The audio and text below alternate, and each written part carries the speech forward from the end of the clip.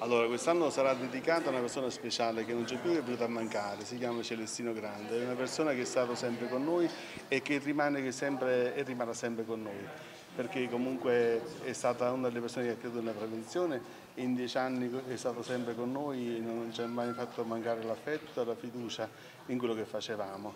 È venuto a mancare qualche settimana fa e penso che sia il caso che dedichiamo a una persona che ha lavorato sul territorio, sul territorio irpino in particolare, eh, quando nessuno ha creduto, lui comunque è stato sempre con noi.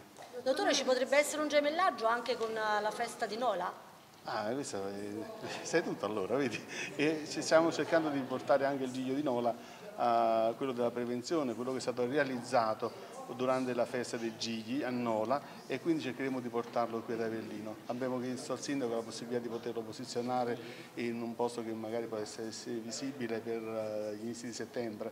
È stata sicuramente una bella cosa avere un, uh, qualcosa che è stato fatto presso un'altra realtà e che però ha la stessa finalità, quella di arrivare direttamente al, al, alle persone che guardano e quindi Guardare quel, quel gigio significa ricordarsi delle persone che non ci sono più e quindi di fare gli esami. Ringrazio Carlo Iannace e tutte le associazioni che eh, da anni si battono eh, per la prevenzione e per la diagnosi precoce eh, del tumore al seno. Grazie a questa rete di solidarietà abbiamo fatto un lavoro straordinario in questi ultimi anni, ormai siamo arrivati al decimo anno, quindi un appuntamento imprescindibile per tutte le donne dell'Irpinia.